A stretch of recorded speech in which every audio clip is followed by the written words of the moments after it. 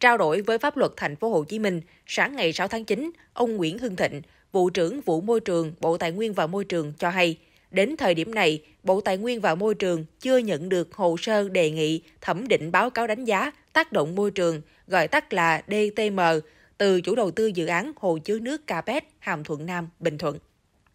Lãnh đạo vụ môi trường cho hay, dự án hồ thủy lợi Capet được Quốc hội thông qua chủ trương đầu tư vào năm 2019 và điều chỉnh chủ trương đầu tư dự án tại kỳ họp thứ 5 mới đây tháng 5 năm 2023. Sau khi dự án được Quốc hội thông qua chủ trương đầu tư, phía Ủy ban Nhân dân tỉnh Bình Thuận, chủ đầu tư dự án đang thực hiện các bước để triển khai dự án, trong đó có nội dung xây dựng DTM của dự án. Vụ Môi trường Bộ Tài nguyên và Môi trường cho biết, vừa qua, chủ đầu tư dự án đã tổ chức lấy ý kiến, tham vấn cộng đồng DTM dự án qua nhiều kênh, trong đó có cổng thông tin của Bộ Tài nguyên và Môi trường theo quy định. Kết quả tham vấn này sẽ là một trong những căn cứ để phía chủ đầu tư đề nghị thẩm định DTM tới cơ quan thẩm định là Bộ Tài nguyên và Môi trường. Tuy nhiên, đến thời điểm này, phía Bộ chưa nhận được đề nghị thẩm định DTM dự án từ chủ đầu tư. Về trình tự thẩm định DTM dự án, lãnh đạo vụ môi trường cho biết, sau khi nhận được hồ sơ đề nghị thẩm định DTM của dự án hồ chứa nước Capet từ Ủy ban Nhân dân tỉnh Bình Thuận, thì Bộ Tài nguyên và Môi trường sẽ có quyết định thành lập hội đồng thẩm định để đánh giá DTM của dự án. Thành viên hội đồng thẩm định DTM bao gồm đại diện cơ quan quản lý nhà nước và các chuyên gia, nhà khoa học về môi trường. Như báo pháp luật thành phố Hồ Chí Minh đã thông tin, những ngày qua, dư luận đặc biệt quan tâm về việc chuyển hơn 600 hecta rừng để thực hiện dự án hồ chứa nước Ca Bét, huyện Hàm Thuận Nam, tỉnh Bình Thuận.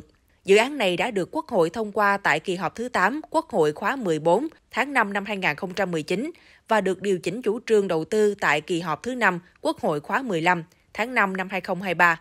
Dự án gồm 3 hạng mục hồ chứa nước với dung tích 51,21 triệu mét khối, công trình đầu mối và hệ thống kênh. Theo tỉnh Bình Thuận, tổng mức đầu tư dự án là hơn 847 tỷ đồng, tăng gần 290 tỷ đồng so với phê duyệt ban đầu. Mục tiêu đầu tư của dự án cung cấp nước tưới cho sản xuất nông nghiệp, cấp nước thô cho khu công nghiệp và sinh hoạt của người dân, phòng chống lũ và cải tạo môi trường, điều tiết nước cho vùng hạ du, khu vực Hàm Thuận Nam và tỉnh Bình Thuận.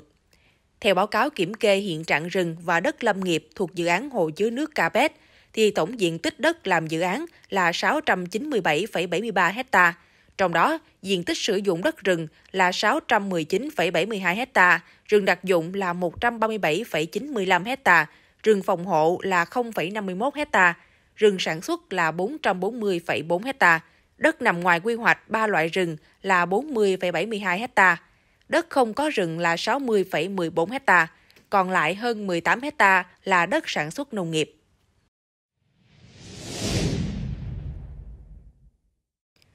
Sáng ngày 6 tháng 9, đoàn công tác của Sở Nông nghiệp và Phát triển Nông thôn tỉnh Bình Thuận đã vào rừng Hàm Thuận Nam để khảo sát thực tế. Ông Lê Thanh Sơn, Phó Giám đốc Sở Nông nghiệp và Phát triển Nông thôn tỉnh Bình Thuận dẫn đầu đoàn. Cùng đi có nhiều cơ quan thông tấn báo chí. Trước đó, đoàn công tác của Cục Kiểm lâm Bộ Nông nghiệp và Phát triển Nông thôn đã vào tới Phan Thiết. Tuy nhiên, lịch giám sát thay đổi nên không đi cùng đoàn khảo sát như dự kiến trước đó. Trước đó, vào chiều ngày 5 tháng 9, Trao đổi với pháp luật thành phố Hồ Chí Minh, ông Triệu Văn Lực, Phó cục trưởng Cục Lâm nghiệp, Bộ Nông nghiệp và Phát triển nông thôn cho biết, ngay khi có thông tin báo chí phản ánh và báo cáo của địa phương, Bộ Nông nghiệp và Phát triển nông thôn đã thành lập đoàn công tác vào Bình Thuận, khảo sát tình hình cụ thể, thành phần đoàn gồm các cơ quan của Bộ. Trong buổi khảo sát dự án hồ tích nước Capet tại huyện Hàm Thuận Nam, ông Lê Thanh Sơn, Phó Giám đốc Sở Nông nghiệp và Phát triển Nông thôn tỉnh Bình Thuận đã giải đáp các thông tin mà phóng viên báo chí quan tâm về dự án này ngay tại vị trí làm lòng hồ. Trả lời về việc vì sao làm hồ chứa nước trên hơn 600 hecta rừng khiến dư luận băn khoăn, ông Sơn cho biết dự án đã tính toán hết rồi, các chuyên gia, các nhà khoa học phân tích kỹ lưỡng, được báo cáo tại rất nhiều kỳ họp qua Hội đồng thẩm định cấp nhà nước, qua nhiều đoàn kiểm tra của cơ quan trung ương. Theo đó, hiện không còn vị trí nào khác tại tỉnh Bình Thuận phù hợp để làm hồ này cả. Trong khi đó, đây là dự án rất cần thiết đối với tỉnh Bình Thuận. Việc làm lồng hồ theo yêu cầu về điều kiện địa hình. Hồ ở đây là tích nước tự nhiên, ngăn dòng chảy để nước dâng lên, chứ không phải là đào rừng để tạo thành cái hồ. Theo thiết kế, hồ thủy lợi Capet sẽ có dung tích là 51 triệu mét khối. Khi chúng ta xây đập thì nước con sông Bà Bích sẽ dâng lên tới cao trình đập là 51 triệu mét khối. Địa hình ở đây cao khoảng 153 mét so với mực nước biển, sẽ cấp nước về bên dưới. Xung quanh khu vực này, rừng vẫn tiếp tục là rừng, chỉ làm hồ với phần diện tích 600 hecta và không làm công trình gì khác trên phần diện tích rừng này cả. Khu vực lòng hồ Ca Bét được Thủ tướng phê duyệt quy hoạch thủy lợi từ năm 1995. Từ đó đến nay, quy hoạch này vẫn tiếp tục được duy trì.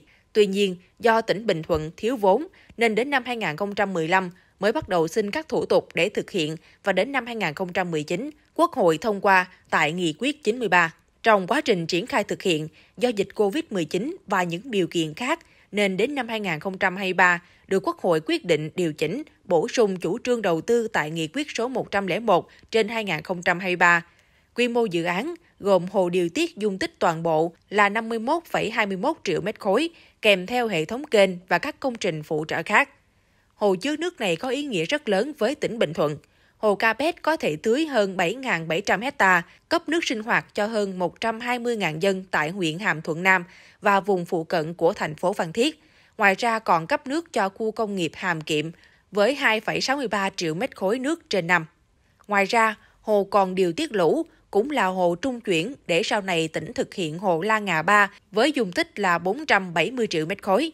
Do đó, công trình này là bắt buộc và cần thiết phải thực hiện và khi được Quốc hội thông qua, tỉnh Bình Thuận và người dân rất phấn khởi.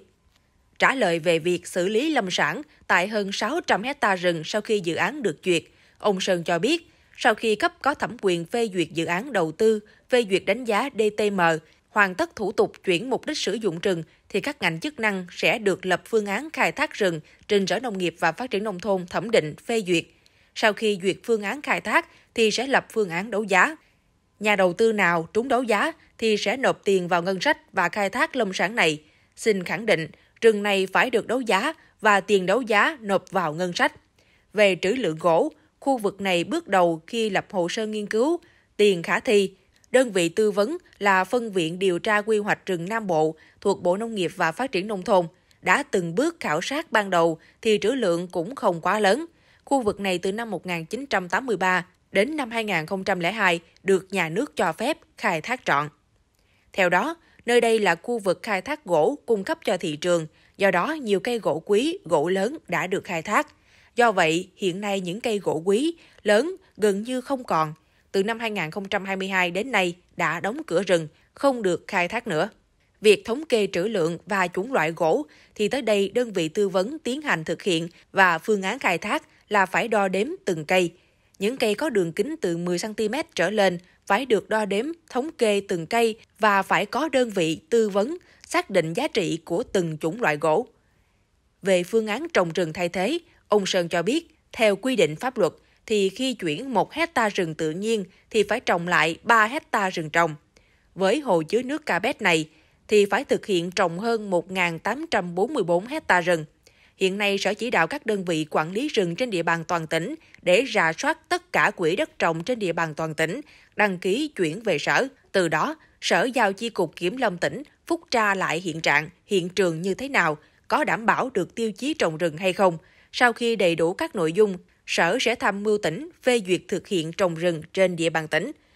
Dự kiến thực hiện từ đây đến năm 2025, cố gắng hoàn thành cùng thời điểm với hồ chứa nước cà Bét.